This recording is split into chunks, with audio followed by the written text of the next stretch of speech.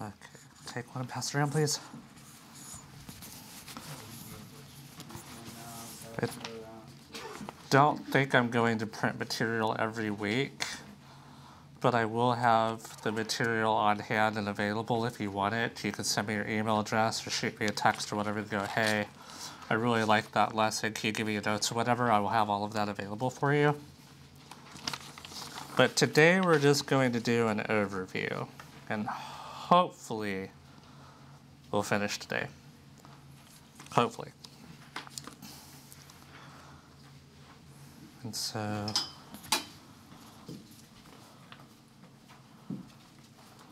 thank you. We are going to uh, go over the book of Hebrews for the next however long it takes us to get through it. Um, there's 29 different pericopes in the book, so pericope being a section of scripture that includes an independent thought that builds upon themselves. And so there's 29 of those, roughly. We might combine some, we might have to split some up depending on the section.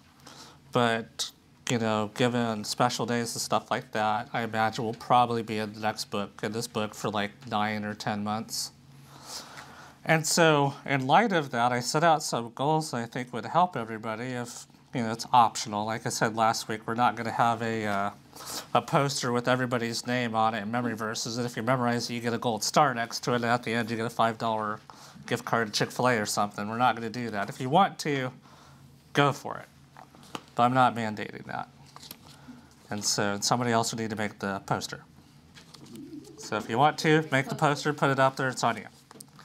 But anyway, so the goals for Hebrews, something I think would really help all of us if we want to study it through together. Well, the first one, obviously, you have to read it. And Hebrews is 13 chapters, and it does not take that long to read. You can read two chapters a day in about five minutes. Even the longer chapters don't take that long. It reads very quickly. And so read through it once a week. You know, just set up a time in your daily Bible reading where you read two chapters a day, and on Sunday you read three, or however you want to do it. It's up to you. Would really help you. Um, on the back, I have all the pericopes listed. And so the second thing I would say is read the pericope each day and think about it. Look at it, find out, well, what's weird about this? Or, oh, that's really cool, or meditate on it. Try to get a grasp of it. So, for example, the very next week, we're going to cover the exordium. Now, if you don't know what an exordium is, don't feel bad. I had no idea what it was until I read it in the book. I'm like, what on earth is that? So, an exordium is a fancy word for introduction. And since it's fancy, I like it. Anyway, it's four verses long. And there's more print dedicated to those four verses than any other pericope in the entire book. The four verses will introduce everything he's going to talk about in the book. It's really, really tightly packed. It's awesome. Anyway, so number two on the on the front of the page would be read and reflect on the upcoming pericope daily. And so I'll try to announce it at the end of class, and then just read through it. Like the first one's four verses. Read through it during the day. It takes a minute you know, think about it, look up words, do whatever you want to do with it, but that would also help you with the study. And then number three, consider memorizing some of it. And so what I did this last week is I read through the book and I started highlighting different passages that, well, I like and I think are influential and I think that go well with the theme of the book and everything. And so I found bits and pieces from every chapter. So you can go through it. So the first one, Hebrews 1, 1 through 4 and then Hebrews 2, 3, 4, all down line, all the way 13. Some of them have like giant sections, and others are just individual verses. But my suggestion to you is go through and try to memorize some of them. It would be helpful for you. And then number four, and this is something that we're going to get into as we teach through the book, try to consider what the author is doing with how he portrays Christ. And so, a big theme in the book of Hebrews is the superiority, the qualitative excellence and greatness and transcendence of Christ. Over any other thing that he talks about, he shows how Christ is a fulfillment or is above that particular thing. And so, all throughout the book, we're going to be discussing this. And so, think about how the book of Hebrews portrays Christ. So, the first one, the big section in chapter 1 and 2, and it's interwoven throughout the rest of the book, but he really focuses on it in the first two chapters, is Jesus Christ's son. And that's something only Christ can claim. Only Jesus is the Son of God. Only Jesus is the Son of Man. Now, we all can say that we're sons of God in a in a different sense. We can all say we're sons of men and we're called sons of men in a different sense, but only Jesus is the Son of God and the Son of Man. And so that's primarily chapters one and two, and also the author draws heavily off of Psalm chap off of Psalm two. And so consider how he is presenting Christ. So in the very first pericope, for example, Christ is the source of all revelation. Christ is the heir of all things. Christ is the creator of all things. Christ is the one who reconciled us to God by purging our sins. And there's more in there than just that, but just off the first three verses, there's that to think about. Think of Christ as the Son of God. So the second pericope, when he starts talking about comparing Christ to angels, you have verses 5 through 14 in chapter 1. It, it gives that comparison. It talks about how Christ is the Son of God above the angels. And then in chapter 2, after the first warning section in verses 5 through 18, he talks about how Christ is the Son of Man who was made a little bit lower than the angels. And so it's really interesting how he starts comparing these things. And so start thinking about how the book presents Christ. And then once you get to chapter 3, all the way through the end of chapter 7, it starts talking about Christ as high priest. And so it covers different different aspects of what it means to be a high priest and the difference between Christ as high priest and the old Old Testament Levitical high priesthood and the offerings that they offered and how things overlap and are the same, but how Christ is qualitatively superior to anything that they could have offered. And so over there it talks about Christ's faithfulness, it talks about his suffering, his perfection, it talks about his eternal priesthood. And then lastly, and there's more, we'll cover each one in the pericopes, think about how Christ is presented as the mediator of the new covenant. And so I think we all understand that God interacts with us based off of covenants. So from the very get go in Genesis chapter 1, well, actually in chapter 2, God's interacting with Adam and God makes a covenant with him. He says, All this stuff over here, have at it. Eat as much as you want, as often or little as you want. It's all for you. But this one tree, don't do, don't eat of that. And if you do, you will surely die. And that's the covenant he makes with Adam. And that's how he interacts with Adam. And what happens? Adam eats the fruit and he surely dies. And so God's constantly interacting with man based off of the covenants that he makes with them.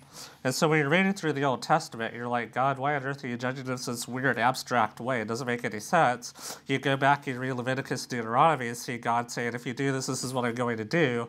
You can match it with what God says with God's judgment. You go, oh, God's judging him here because this is what they're not doing in the covenant that he made with them. And well, Christ is the mediator of the new covenant for us. And so we are not under the stipulations of the Old Testament Old Testament covenants in certain respects, anyways. But we're under the stipulations of the new covenant. So our responsibility to God is based off of that covenant that He makes with us when we get saved through Christ. And so consider Christ as the mediator of the new covenant. What does that mean? Well, His sacrifice for our sins was perfect and eternal. He said He offered Himself once. Because if you look at the Old Testament, High priests, they had to offer themselves again and again and again and again. Why? Because they were constantly sinning and none of their offerings could make anyone perfect. So they constantly had to reoffer, reoffer, reoffer, reoffer. Well, Christ offered himself once and sat down. He's done. He doesn't have to come back and do it again. And so he's got a better, a better offering. Um, consider that his death means an eternal inheritance for us. Because if a person that makes a will with you is alive, is a will under any force when the person who made wrote the will is alive? No. Like if your parents have an inheritance for you, do you get that while you're alive? No, they have to die first. Well, it's the same thing with Christ. This is heavily emphasized in chapter 7 and 8. Well, or 9, I think. But you don't get the inheritance unless the testator dies. And so Christ had to die for us to obtain that eternal inheritance that God wants for us. The sacrifice for sin had to be paid. And then number three, his offering was only necessary once. This isn't something that has to be done over and over and over and over again. What that means is that our sin penalty, once we receive Christ, everything we did from the get go of our life to the end of our life, all of that's paid off at once. All of it. One time. There's no need to constantly offer sacrifice or anything. Like he's dealt with it. So Christ is qualitatively superior of a better covenant. And then I put the five warning sections of Hebrews down at the bottom of the page. And so the way Hebrews is structured, and we'll get into this in a moment, is the author will start giving you an aspect of Christ that you need, need to consider, talking about how Christ is superior in some certain way, and then he's going to launch into a warning section. And so one author says he goes from thesis or setting out propositions that you need to believe over to paraenesis, which basically means counsel or advice. So he sets out what you should believe, and then he gives you a warning about it. And then he'll set out what you need to believe and then give you another warning. And he has five warnings throughout the book, and his warnings and how you interpret them basically will govern how you interpret the book of Hebrews. All right, so go ahead and turn over to the back. And so the back is just the pericope, and I borrowed this heavily. In fact, I copied it. To give credit where credit is due, I borrowed it heavily from a gentleman named David Allen, and his commentary on Hebrews is phenomenally good. It's excellent. And so this is a cut and paste. Well, I didn't cut, I typed it out, but it's basically copied from him. And so if you want to get, I'll discuss books here in a moment, but this is what we're going to follow, give or take. We're gonna there's gonna be a little bit of wiggle room because we may or may not cover each pericope or whatever, but we'll follow this to the best that we can. That way you know what to study or what to think about, what to meditate on, what to memorize even as we go through the book. And so that is yours to keep, use it, lose it, do whatever you want with it. It's fine. I won't be upset, I promise. Anyway, so books. So what I am using to study, some of it, and there's more, there's, there's not any particular reason. If you want a small book, you can get William Barclay's book, Letter to the Hebrews. This is a very quick read. It's been pretty helpful. It's been pretty good. It's not as in depth as I would like, but it's not going to hurt you. And then you've got this one, which a friend of mine recommended from Kent Hughes. It's Hebrews an Anchor for the Soul. Hi, Levi.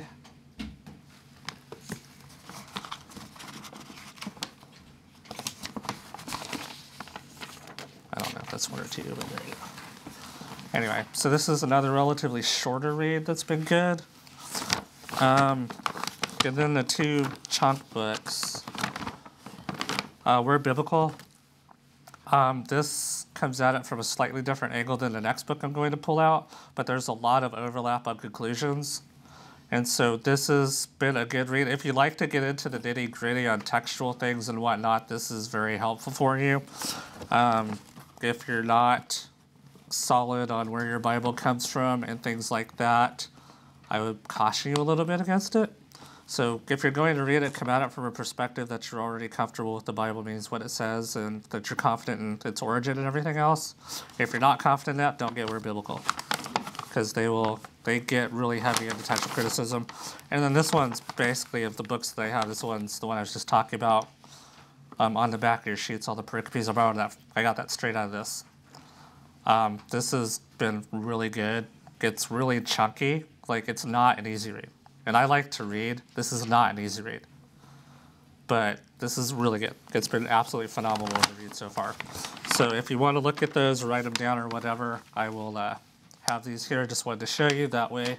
If you're like, hey Patrick, I really want to read something extra as I'm going through to help me, those are what I'm using, and those will help you. All right, now let's get into the part you don't have. Part I have here. We're going to go into the setting, and then we're going to talk about the structure a little bit, and then we will be done. So, who wrote the book of Hebrews? Anyone? James. Luke. Okay, we have Luke.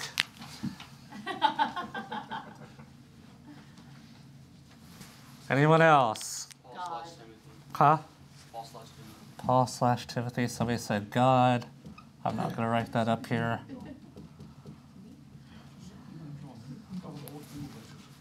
Anyone else? Peter and John, too. What do you say? Peter, Peter and John. and John. Peter and John? I haven't read that one. Cover all the bases. Okay.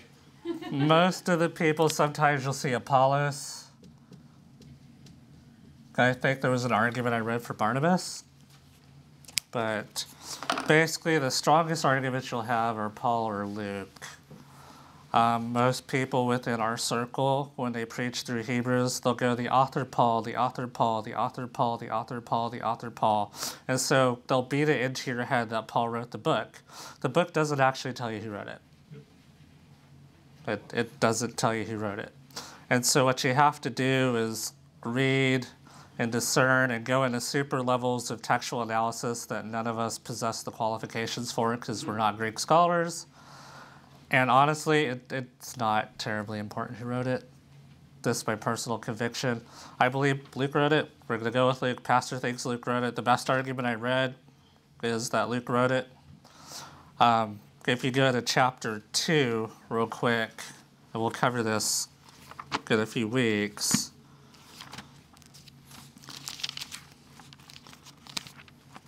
If I can find Hebrews, there we go. So, chapter 2, verses 3 and 4.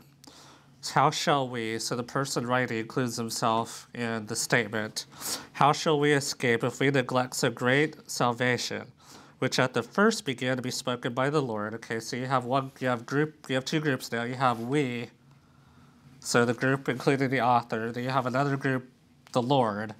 So I'll write this down. I guess I'm going to write a little more today.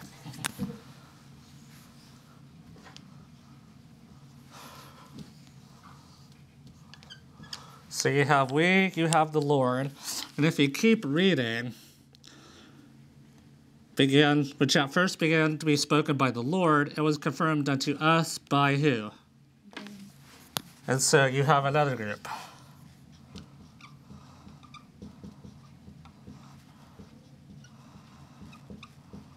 Them that heard him.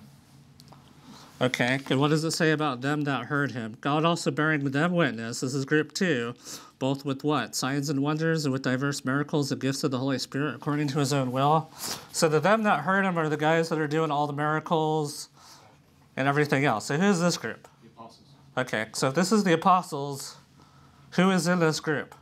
Paul. Paul. So if Paul is in this group of the people that are doing the miracles, he's not part of this group of the people that are hearing and watching and bearing witness. Now, that's not obviously conclusive evidence. I'm not saying this is foolproof. But just for my own personal conviction, reading those verses at the moment, I don't think the author is Paul.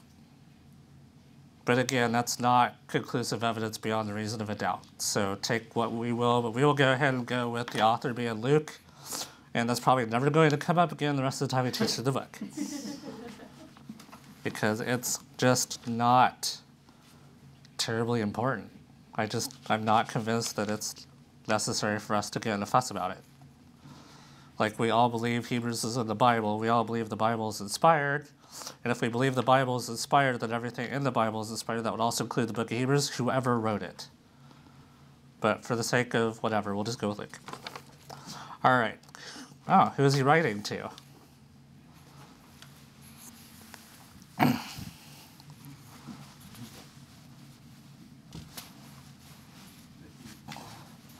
So we don't know who wrote it. We don't know who the audience was either. It doesn't tell you. Because when Paul ever when Paul writes, he goes, Paul, an apostle to the churches at Galatia, or to Timothy, my son, or any number of other things. He always identifies himself and says who his audience is. The book of Hebrews doesn't do that. The book of Hebrews does not do that, but if you read through the book, you get some clues. And so the first clue you could get is the audience that he was writing to really knew their Bibles. Like they were completely fluent in the Old Testament. And you might go, well, Patrick, why do you think that? Patrick, why do you? Thank you. well, the reason I think that is the book is replete, full of Old Testament quotations without any explanation. Like, if you read through the first chapter, I think you have eight or nine references to Psalms alone in the first chapter. First chapter is 14 verses. And if, if you go through the entire Old Testament, will, or the entire book of Hebrews, you'll basically find that the author goes through pretty much the entire Old Testament. And so he talks about how Christ is better than the angels, and he quotes different things about what the angels' ministry was versus what Christ's ministry was as son. Then in verse 2, he talks about Christ being the Son of Man and how Christ was made a little bit lower than the angels, which is another quotation from Psalms. In chapter 3, he starts talking about Christ and Moses. And he starts talking about Christ and Israel and our response to Christ versus Israel's response to God. He starts talking about the Levitical priesthood. He starts talking about covenant. He starts talking about the Melchizedekian priesthood. And then in Hebrews 11, he talks about every single prominent Old Testament saint that we all want to emulate. And so he's constantly referencing the Old Testament, which would make no explanation for anything that he references. He builds doctrines out of it, but doesn't explain the text. Well, why would you do that unless you're writing to a people that already understood your, what you're talking about? Does that make sense? Like if I learn a whole bunch of Greek and I come in here and, and I start talking Greek to all of you, is that going to help anybody? No. Why? Because you don't know Greek. And so you have to communicate on a register that the other person's familiar with, and if you don't, you have to explain what you're saying. Therefore, one clue that we could get about the audience is they were probably extremely knowledgeable in the Old Testament. Another clue, and this one's important. The second one is important. This is going to dictate how you interpret the entire book. I'm going to pro- propose that the audience is a group of people who are already saved. Now, your view on that is going to change every single one of the warning sections and how you interpret those. So, the warning sections talking about people who are close to professing but about to turn away and therefore really aren't saved? And so the warning is hey, you need to go ahead and confirm your salvation because you are not saved. And if you reject God, then all these things are going to happen to you. Because if you look at the warning sections, they're terrifying for one, and two, they do seem to indicate that. But I'm going to tell you that they're believers. And the reason why I think this is important is because you cannot interpret the warning sections in two different ways. You can't say, okay, there's one interpretation for the unbeliever and there's one interpretation for the believer. You can't do that. There's only one interpretation for every text. Now, you might be able to apply it to unbelievers, and I think that wouldn't be unfair, but you can't interpret it as meaning one thing to one and one thing to another. Otherwise, anybody can go and interpret any text as meaning whatever they want to whomever they want. You can't do that. And so here are some of the reasons why. And again, you're welcome to your own conclusion here, but this is how we're going to go through the book. If you go to Hebrews 5, we're not going to get finished with the introduction today. I was hoping we would, but we're not going to. Go to Hebrews 5. Hebrews 5, verse 11 states, Of whom, he's talking about Melchizedek here, of whom we have many things to say and hard to be uttered, seeing you are dull of hearing. He's calling them all hard of hearing. For when the time that ye ought to be teachers, ye have need that one teach you again, which be the first principles of the oracles of God, and are become such as have need of milk and not of strong meat. For everyone that useth milk is unskillful in the word of righteousness, for he is a baby. But, but strong meat belongeth to them that are of full age, even those who by reason of use have their senses exercised to discern both good and evil. And so this is a group of people that he thinks should already be teaching. And due to their own slothfulness, which you can find it you know, in verse 12 of chapter 6, due to their own slothfulness, they have not pursued maturity and are, it's either an ironic, sarcastic statement to them it's saying this is where you should be, but you're not, or it's an honest statement saying this is where you should be, but you're not. Well, unbelievers aren't ever in a place where they can be grow to become teachers. And so that's one argument I have for it. And if you look at Hebrews 6 1 2, 3, the author does not plan to teach them the first principles of the doctrines of Christ again. If they were unsaved, that's exactly what he would be doing. And then he moves on with his discourse. If you look at Hebrews 6 9 through 12, it kind of paints a picture of a group of people that have previously worked and labored for God. I'll read that. So, verse 9, But, beloved, we are persuaded better things of you and things that accompany salvation, though we thus speak. For God is not unrighteous to forget what? your work and labor of love, which you have showed towards his name, and that you have ministered to the saints and do minister. And we desire that every one of you do show the same diligence to the full assurance of hope unto the end, that you be not slothful, but followers of them who through faith and patience inherit the promises. And so he's saying God's not, not going to forget your work of labor and love. And that indicates a group of believers in my mind. And then lastly, in Hebrews 10:23, it tells it tells the believers to hold fast their profession of faith, which that doesn't make any sense in the context if the book is written to believers. What profession are they supposed to hold on to? It says, "Let us gather together, let us encourage each other, let's provoke yourselves unto good works." None of that makes sense to an unbelieving audience. And so those are just a few of the reasons. And again, you're welcome to make up your own mind. None of this is dogmatically set in stone. But those are just a few of the reasons. And there's more. Um, number three as to who the audience is, they were probably Jews steeped in the Septuagint. And so this can be sticky in, in certain circles that we uh, run in. But if you look at the, all the Old Testament quotations in the book of Hebrews, they don't come from the Hebrew Old Testament. So the Hebrew Old Testament was, it's called the Masoretic text, it's written in Hebrew. And the King James Bible, well, I think most Bibles really are translated from the Masoretic Hebrew text. Well, the author of Hebrews isn't quoting from the Hebrew text. He's quoting from what's called the Septuagint. And what the Septuagint is, is a Greek translation of the Hebrew text that came about, I don't know what, 100 years before Christ, 200 years before Christ. And so he's quoting from that. And so that indicates a group of Jewish people that are not actually in Israel, or they may not be in Israel, but they've been heavily exposed to the Old Testament Greek translation, because that's where all of his quotations come from. And so, since it's a group of people that know the Old Testament very well, and he's quoting from the Septuagint, which would have been something that non non Israelite Jews or Jews not living in Israel would have heavily used, then the conclusion follows, in my mind at least, that they were probably Jews. The audience was probably Jews, very knowledgeable and steeped in Septuagint. And so the, con- the constant references to the nation of Israel, their patriarchs, their heroes, the temple, the sacrifices, without any explanation indicates a group that already is very familiar with that, which would indicate a primarily Jew- Jewish audience. And number four, this group had probably been believers for a while. And so the reason I think that's go to Hebrews 10.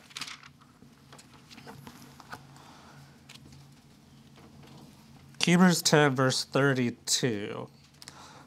It says, But call to remembrance the former days in which, after you were illuminated, ye endured a great fight of afflictions, partly while you remained a gazing stock both by reproaches and afflictions, and partly while she became companions of them that were so used. For ye had compassion on me and my bonds, and took joyfully the spoiling of your goods, knowing in yourselves that ye have in heaven a better and an enduring substance. This is a group of people that's already dealt with persecution before. They've already dealt with it. They've already experienced a bout of persecution. And so this probably isn't a group of newly saved believers who haven't experienced any of that yet. And then if you look in Hebrews 12, which we don't need to turn to, this is probably a group that's anticipating an upcoming soon to occur persecution. It talks about them not resisting unto blood, like they haven't suffered bloodshed for what they believe at this point in time. So this is a group that is primarily Jewish, very knowledgeable in the Old Testament, been saved for a while, and they are looking at a, at a time of upcoming persecution and they are wavering. And so this whole book's written as an encouragement to the wavering to continue fast in Christ. So, what's the thrust of the book, the main theme? And the main theme of the book is the qualita- qualitative superiority of Christ and how believers should respond in light of it. And so the book shows Christ being the source of fulfillment of revelation, reconciliation, and restoration, which is going to happen is when he establishes his kingdom. It depicts him as the Son of God and Son of Man, by nature above angels, above Moses, greater than the Aaronic and Levitical priesthoods, and a mediator of a better covenant. So this book's thrust is Christ is qualitatively superior. He's better. And the main issue which you will get through reading the warning passages and certain others, is the audience appears to be a group that seems to be withdraw- withdrawing. So this is a group that is wavering in their convictions to Christ. And the author sees that and is recognizing it, is concerned about it. So his solution to the people that are wavering is here is Jesus. Like you want you were wavering, maybe turning to something else, or you were wavering, maybe withdrawing. Well, here's Christ. Here's Christ, here's his superiority, here's everything that he has done and therefore follow Christ. Follow Christ. You know, if Christ is superior, then your faith in Christ should also rise to that level. And so the author motivates him through examples, motivates his audience through examples in the Old Testament where Israel acted in unbelief. You can look at Hebrews chapter 3 and 4 about that one. And he shows them that since Christ is superior, then our response of unbelief demands greater punishment. In other words, if the people who heard the law and saw the miracles that God did back then spent 40 years wandering the wilderness because they didn't believe and they all died there, and God was grieved at their unbelief, how much greater of a punishment should believers be thought to be guilty of if we take Christ who has saved us from our sins and purged us of all unrighteousness and gotten us an inheritance, an eternal inheritance in heaven, is going to redeem the entire world and set up his kingdom here, how much of greater punishment should we be thought worthy if we take a look at that, we get saved, and we look all of, the, all of that, and we cast it behind our back? Now that's scary because you're like, but believers can't lose their salvation, and we can't lose our salvation, which is a beautiful, wonderful thing, because if we could, we would have already. But anyway, so if Christ is superior than everything in the Old Testament, that meaning a certain amount of punishment, that if Christ is superior to that, then our response also needs to be superior. And so he encourages them to take more earnest heed. So in chapter 2, the first warning section, take more earnest heed to the words of Christ. He motivates them not to fall short by acting in unbelief, which is the warning section, chapter 4. He motivates them again in chapter 6 to move on to perfection and not be slothful. And in chapter 10, he motivates them to continue assembling together, exhorting each other, provoking each other to good works. So basically, as Christians, we have a greater responsibility because our Christ is greater. Does that make, does that make sense? And so all of the warning passages tell you what the author is concerned about. He's concerned about a group of people that are going to fall short, a group of people that are going to start going into unbelief, a group of people that are being slothful and not pursuing maturity, a group of people that are maybe neglecting to assemble, people that are neglecting to exhort each other and encourage each other to band together because they're looking at potential upcoming persecution going, we've already dealt with this, but we don't want to go through this again. Possibly. The thesis statement. I think, and this is personal opinion without any proof, so I'll I'll throw this out there. Personal opinion without any actual proof at the moment. That the thesis statement is probably Hebrews 12, 1 through 3. And so we can read that. Because in my mind, it sums up everything that he's talked about. And it says, Wherefore, seeing we are also compassed about with so great a cloud of witnesses, let us lay aside every weight and the sin which does so easily beset us, and let us run with patience the race that is set before us. Looking unto Jesus, the author and finisher of our faith, who for the joy that was set before him endured the cross, despising the shame, and is set down at the right hand of the throne of God. For consider him that endured such contradiction of sinners against himself, lest ye be wearied and faint in your minds. And so that sums up Hebrews 1 through 11 beautifully. So that's a good thesis statement. We'll run with it. And so basically, what I have written here is with all the evidence at hand, and with the witnesses that have gone on before, so both the good witnesses and the bad witnesses, which is covered in the first 11 chapters, let us lay aside every weight and sin and run, with, run our races with patience looking to Jesus. So, running our race in light of the book means properly responding to Christ who speaks through his word, responding to it in faith, and moving on to maturity and assembling together to encourage and provoke each other. And so, therefore, the danger they were facing, because y'all might be thinking, I'm not a mature believing Jew. So, the book of Hebrews is not written to me. Are, are there any mature believing Jews no. Okay. So this book's not written to any of us, so we just pack up and go home, right? Nobody's gonna go for that one. Okay, you're all laughing at me though. And so, but we are a group of believers that struggle with hearing God's word. We are a group of people that struggle with unbelief. We are a group of people that struggle in slothfulness and not growing spiritually. We are a group of people that are looking ahead at a future persecution and are unsure of what's going to happen we are a group of people that need to come together and motivate each other and encourage each other to stay faithful, right? Yeah. I have some very stoic looks. I'm sorry, Calvin, I'm not looking at you. Do you feel left out? You're looking at me. I'm looking at you right now. anyway, and so the dangers that they were facing are applicable to us today. And so we might not be facing imminent persecution. We see the clouds on the horizon. Additionally, there are all sorts of things in life that cause us to be slothful in the Lord's work. So whether we're recently saved and we don't know anything yet, or we're learning, or we're somebody who's been saved a long time but we're basically a baby and we don't know anything, or we're someone who can teach and we've built up our skills and we've used them for God in the past, but we're no longer doing that now, this book is for you. And so we have a couple minutes. I'm going to go over the structure really, really, really, really quick and then we'll actually make it through the introduction. And so the book of Hebrews is a sermon. And so this book, as far as I could tell, was designed for somebody to get up and read it orally. In the Greek, which we won't get into, and I don't even know enough about to get into, it has all kinds of things that would make sense if it was if it was read out loud. And so he has alliteration, he has inclusio, he's got chiasm, we'll discuss all that stuff later. He's got all of these wonderful things that would be great for oration. And so this was a book that was meant to be delivered to somebody, for somebody to stand up and read the whole thing in its entirety to a specific group of people. So this is a sermon. And so it has in a sermon what you would expect in a sermon. It has an introduction. It's got a bunch of theses. It's got a bunch of propositional truths for you to believe, and it's got a bunch of application.